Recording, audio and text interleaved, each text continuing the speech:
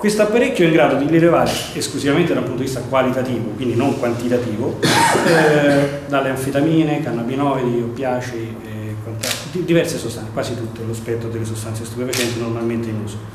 Dopo l'etilometro scende nelle strade aretine anche il drogometro, apparecchiatura che consentirà attraverso l'esame della saliva di verificare in pochi minuti l'eventuale assunzione di stupefacenti da parte degli automobilisti. Arezzo sarà la prima provincia in Toscana ad utilizzare questa nuova apparecchiatura in dotazione alla polizia stradale. Siamo stati inseriti in un programma nazionale eh, che ci consente di utilizzare questa nuova apparecchiatura che giustamente attraverso un, un'analisi e un sistema non invasivo che va sulla saliva, si fa contestualmente sulla strada, dà una certezza in termini almeno nell'immediato eh, qualitativi del fatto che il conducente sta guidando under, cioè sotto l'effetto di sostanze stupefacenti.